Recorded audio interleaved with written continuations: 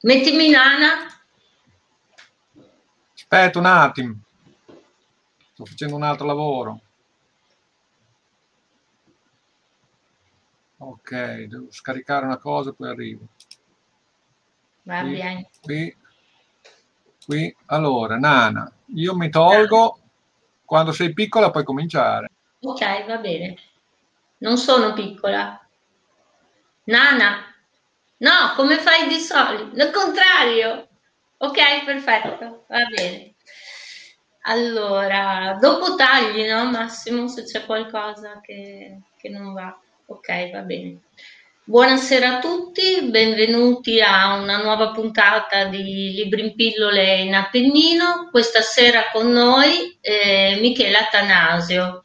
Ciao Michele e ciao anche a tutti gli ascoltatori di Radio Radar Poretta Terme. Ciao eh, dove ci porti oggi?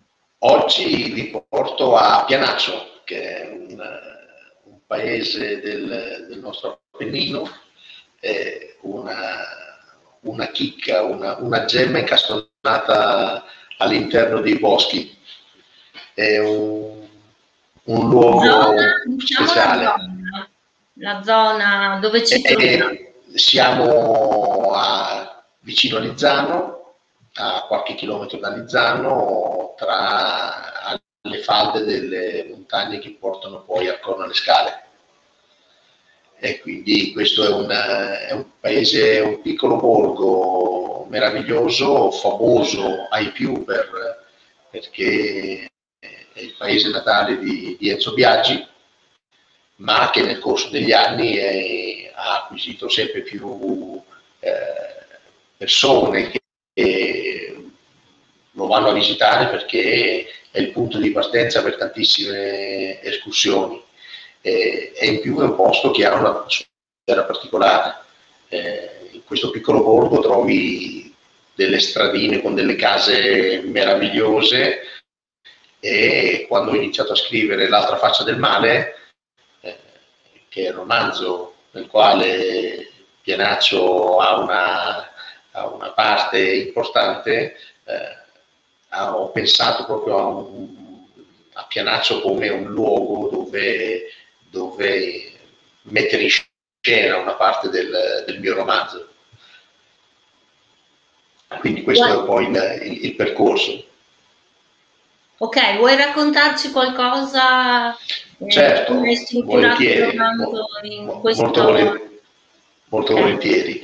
Eh, Pianaccio fondamentalmente è il luogo dove Ivan Gatti, uno dei protagonisti del, dell'altra faccia del male, ha una casa eh, dove si rifugia, una sorta di guerritiro, eh, dove va a, a pensare, a, a, ripensare a quello che ha fatto durante la, la sua vita, eh, a combattere con i propri rimorsi per cercare di trovare una, una pace interiore che eh, per tutta la vita non è riuscito a, a recuperare.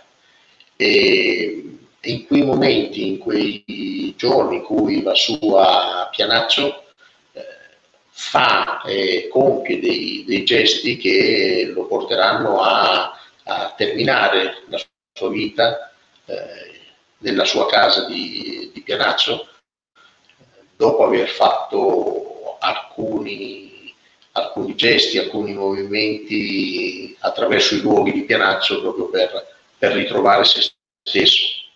Eh, Pianaccio è un posto che ha un'atmosfera veramente molto particolare. In estate è una, come dicevo prima, è una gemma incastonata in mezzo ai, ai, ai boschi verdi, dai, dal quale partono decine di sentieri per poter esplorare le, le montagne del, dell'Appennino e moltissimi anche stranieri vengono a visitarlo perché sono invogliati dalle, da solo il nome di Enzo Biagi che comunque eh, ha dato lustro a questo paesino ma anche per, perché la bellezza di questi luoghi è assolutamente incredibile e mi sembrava un bel posto dove poter mettere in scena una, una parte del, dell'altra faccia del male.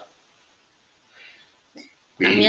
Mi, sembra un'ottima idea e fa capolino spesso Pianaccio nel tuo libro, quindi... Sì.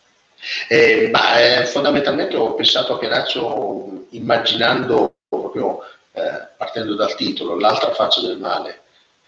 Eh, in realtà l'altra faccia del male è il bene e quindi Pianaccio mi sembrava un luogo di trasformazione, eh, l'ho, l'ho immaginato così, un, un, luogo magico dove è possibile trasformare il male in, in bene. E in questo Pianaccio credo che sia, sia unico, soprattutto perché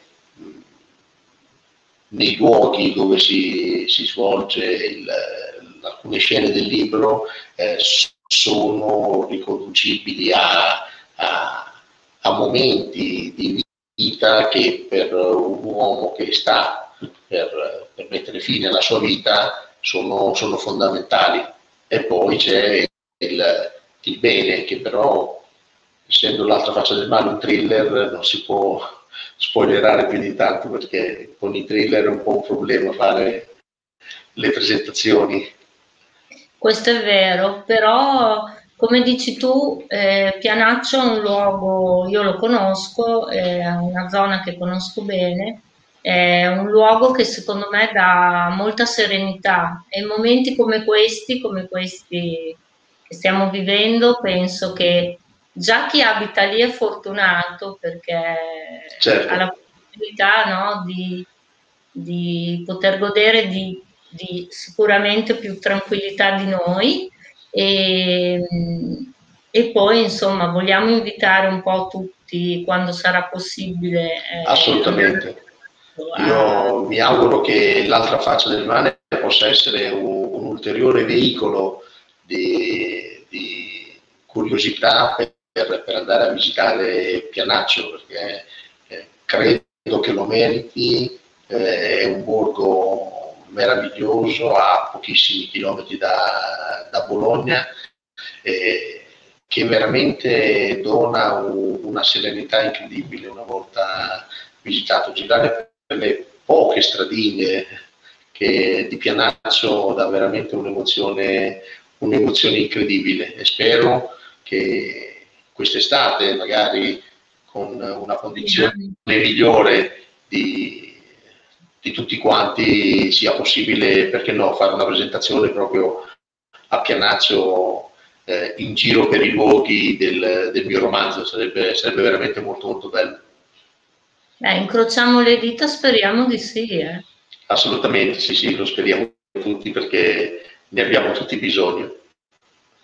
Bene, Michele, io ti ringrazio per, eh, per, aver partecipato a Libri in pillole in Appennino.